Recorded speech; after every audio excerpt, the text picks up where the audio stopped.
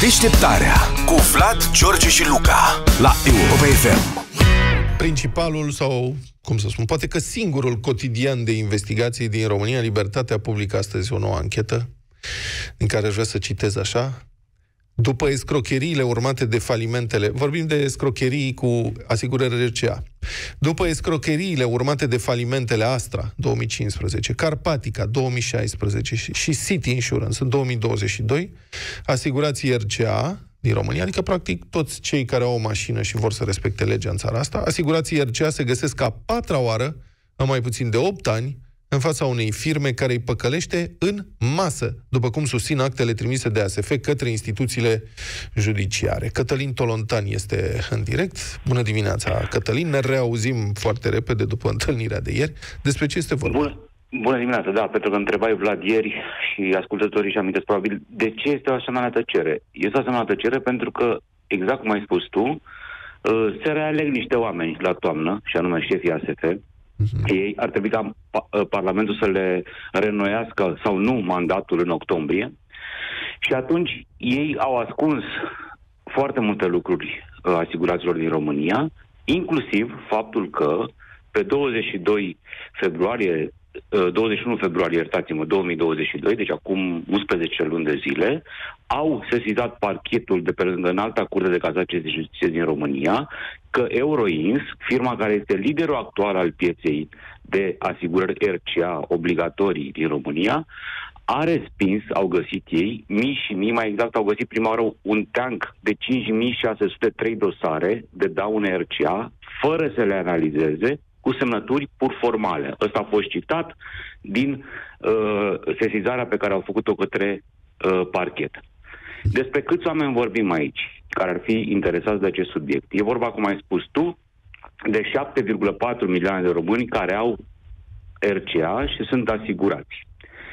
Dintre acei oameni ăștia plătesc 1,2 miliarde de euro, ca, pentru ca să știm care e suma. 1,2 miliarde de euro sunt plătiți de către firmele, respectiv persoanele fizice din România, doar pentru că statul spune asigurați-vă obligatoriu.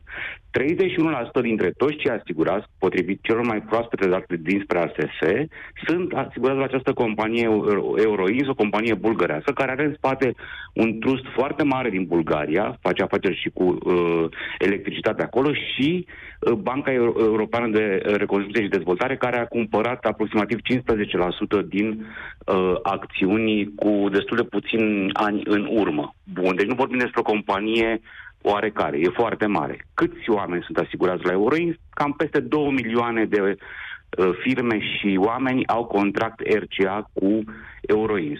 Ce face Euroins, a descoperit uh, ASF-ul, unul dintre lucrurile pe care le face, este că respinge dosarele fără să se uite pe ele, din burtă, pur și simplu. De unde știm asta? Din documentele pe care le publicăm asta pe libertatea.ro pe care, și pe care le-a întocmit ASF care au observat că anumite luni, că nu sunt doar 5600, sunt zeci de mii de dosare, pe care le-au observat țintite în anumite luni. În lunile normale se respingeau 300-400 de dosare, în alte luni 5, 6 mii, 4 mii, 3 mii de dosare. Și au întrebat de ce se face asta și au încercat să vorbească cu oamenii care au semnat pasămite, director de divizie din uh, oameni importanți și care au spus noi n-am văzut dosarele.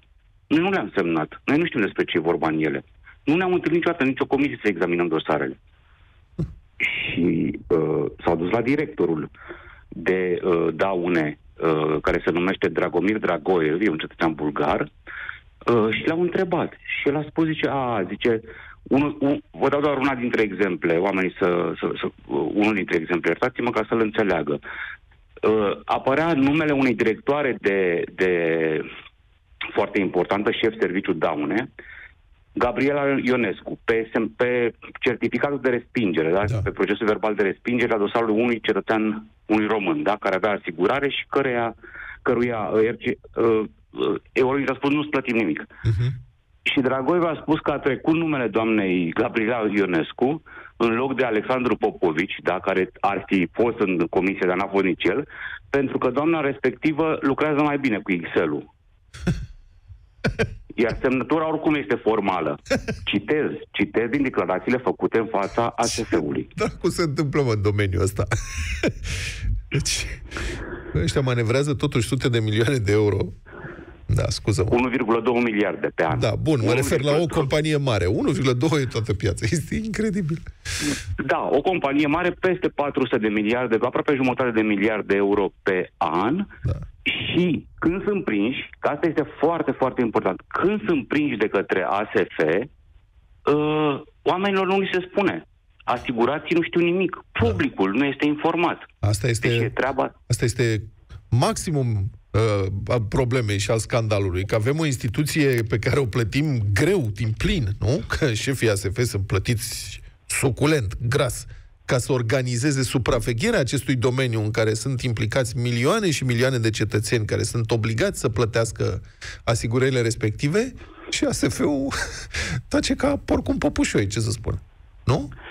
Iar, exact, iar ca, pentru ca oamenii să poată fi informați și să înțeleagă măcar de la Europa FM, dacă nu din comunicarea oficială a unei instituții uriașe din România, cu salarii de 10-15 mii de euro, că atât au șefii din ASF, uh, de ce se întâmplă asta? Când o companie refuză să-ți plătească, tu te duci în instanță, da? Uh-huh. La un moment dat, dacă ești anunțat că un sfert din dosarele analizate, nici măcar oamenii nu erau anunțați că le-au fost refuzate dosarele din burtă, da? Ok, sau că le-au fost refuzate, că nu știe că din burtă, aflăm cu toții acum că din burtă. Bun. Ce, dacă uh, compania intră în instanță cu cazurile, este obligată să facă o rezervă. Uh-huh. Pentru că dacă pierde procesele, trebuie să plătească. Da? Asta este legea în România. Da. Dacă nu faci rezervă, ce se întâmplă? Înseamnă că indicele tău de solvabilitate scade în momentul respectiv, indicele real, da? da? Sub ce te obligă legea. Și, de fapt, tu nu mai ajungi să emiți polițe RCA cu acoperire și hâr- ci hârtii, pur și simplu. Exact. Deci e, ajuns să emiți hârtii fără nicio valoare. De deci o fraudă, riscului. potrivit definiției, o fraudă în adevăratul înțeles al cuvântului. da. Bine. Exact. Oamenii găsesc documentele, tot, absolut toate observațiile, declarațiile celor de la uh, Euroins le găsesc pe libertatea.ro și uh, oricât de mare e tăcerea, nu ne oprim. Vorbim despre... Pentru că nu s-a afectat doar 2 milioane și ceva de oameni de la uh, Euroins. Nu. Că dacă se întâmplă ceva, Doamne ferește, cu această firmă, a patra, al patra lider în opt ani, exact cum ai spus tu la începutul discuției noastre, și cu asta am încheiat, dacă se întâmplă ceva, e vorba despre toți asigurații din România. Mm-hmm. Nu doar de la uh, RCA, Uh-huh. Pentru că toți am plătit, de exemplu, 120 de milioane de euro până acum numai pentru City. 120 de milioane. Ca să-și ia ei, apropo, comisioane, inclusiv după ce au păcălit statul. Și au dat comisioane în străinătate, inclusiv după ce au păcălit statul român. Uh-huh. Da. Cât mai e abonamentul pe an la Libertate? Că mă gândesc... Ia uite. 12 luni, 268 de lei. Bravo. Mulțumesc foarte mult, Cătălin Tolontan. Te așteptăm cu noi detalii. Deșteptarea cu Vlad, George și Luca la Europa FM.